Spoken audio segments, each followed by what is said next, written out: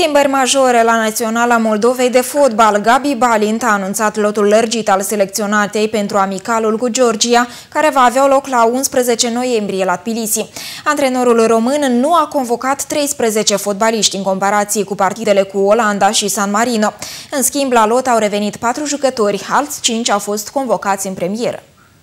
Selecționerul Moldovei, Gabi Balint, a ales jucătorii pentru amicalul cu Georgia. Antrenorul român nu a convocat 13 fotbaliști în comparație cu partidele cu Olanda și San Marino. Este vorba de Moraru, Namașco, Copelciuc, Erhan, Boret, Savinov, Țigârlaș, Pătraș, Alexeev, Ioniță, Gheorghe Andronic, Gheorghiev și Cheptine. În schimb, la lot au revenit patru jucători, Cheltuială, Cașcaval, Dedov și Valeriu Andronic, iar alți cinci au fost convocați în premieră, Zveaghințev, Moșneaga, Furdui, Catan și Pâslă. Lotul lărgit al Moldovei este format din 23 de jucători, dintre care 12 reprezintă cluburile de peste hotare, iar 11 tricolori echipe din campionatul autohton. Partida amicală Georgia-Moldova va avea loc la 11 noiembrie la Tbilisi, cu începere de la ora 16.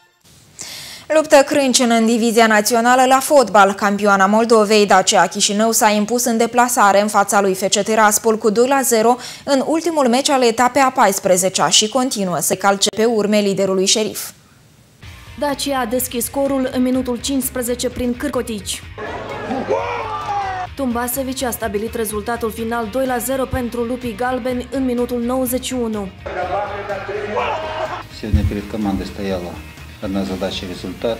Мы его получили и спокойненько уезжаем. Мы не смогли воспользоваться ошибками в обороне дачи, поэтому счет такой, какой он есть.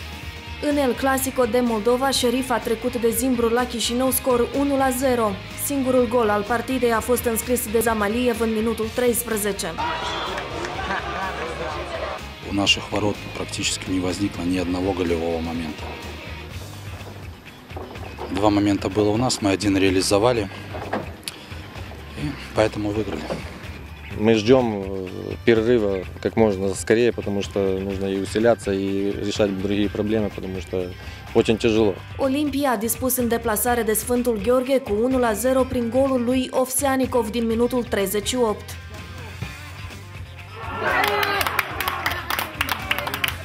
После непродолжительных продолжительных э, матчей наконец-то дождались победы.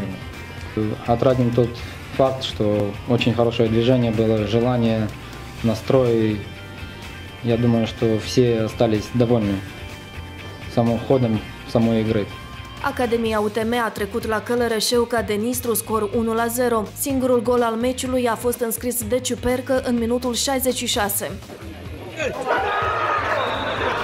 CSCA Rapid a remizat acasă cu Milsami Ursido, scor 1-1. Oaspeții au marcat primii prin Grigoruța în minutul 74, iar Manaliu a stabilit rezultatul final în minutul 88. N-am avut maturitatea necesară, deci n-am avut chiar dorința necesară să, să tranșez rezultatul. В принципе, действиями команды я доволен. Все, что было запланировано, по крайней мере, они все выполнили. Într-un alt meci al etapei FC Costuleni a remizat pe teren propriu cu Iskra Stal scor 3 la 3. Leii au punctat primii prin Sofroni în minutul 23. Oaspeții au dat replica prin golurile lui Javorski, Skripchenko și Truhanov din minutele 34, 45 și respectiv 55. FC Costuleni a răspuns prin alte două goluri ale lui Sertcaie din minutul 66 și Gonda din minutul 84. După 14 etape, lider este șerif cu 36 de puncte. Dacia se clasează pe poziția a doua cu un punct mai puțin. Zimbru și Scastal împart locurile 3-4 cu câte 22 de puncte fiecare. Pe ultimele poziții sunt CSCA Rapid cu 10 puncte și FC Costuleni cu 8 puncte. Atacantul moldovean Viorel Frunza a devenit campion al Kazahstanului cu Shahtor Karagandă, care a obținut în premieră medaliile de aur după ce s-a impus cu 2-0 în ultima etapă din campionat în fața lui FK Astana, pentru care evoluează moldovenii Igor Bugaiov și Anatolie Doros.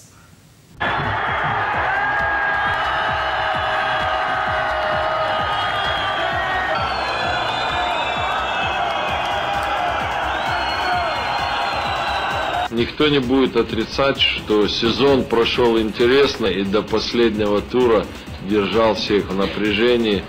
И за медали борьба шла для последнего тура. Viorel Frunze evoluează pentru Shakhtar Karagandy din 2011. Atacantul moldovean a bifat 8 meciuri pentru echipa kazahă și nu a marcat niciun gol. Internaționalul moldovean Petru Racu a discutat despre fotbal cu ex-patronul lui Manchester City, Taksin Sinavatra, a fostul prim-ministru al Thailandei. S-a întâmplat în, timpul, în templul Budaram din Suedia, unde Racu și soția sa au participat la o acțiune de caritate.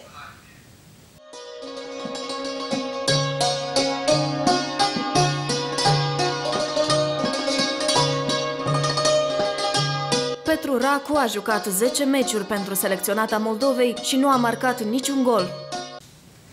Fotbalul nu are granițe. Echipa serviciului Grănicere a devenit campioană printre amatori după ce s-a impus în finala turneului Cupa de Toamnă la Futsal Sports MD în fața lui Capilati scor 5 la 2.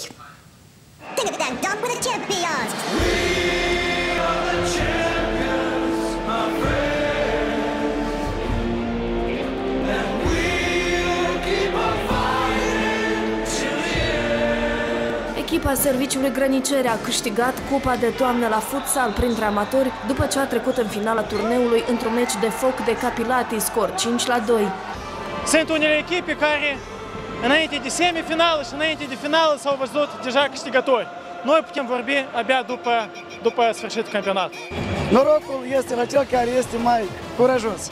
Locul 3 a fost ocupat de echipa jurnaliștilor Olhionia, care s-a impus în finala mică în fața Academiei Militare, scor 3 la 2.